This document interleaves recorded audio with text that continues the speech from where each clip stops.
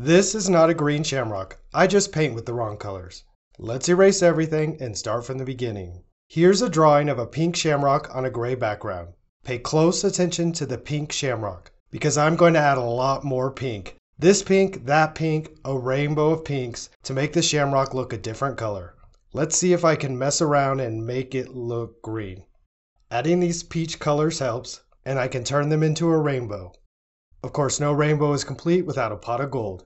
I just have to balance all these pinks, uh, uh, add a few little details. And what color does the shamrock look now? Just wait, watch what happens when I race to the gray background. It really looks green. However, you should probably go back to the beginning and try to figure this out. Or watch one of these other videos from Eclectic Asylum Art.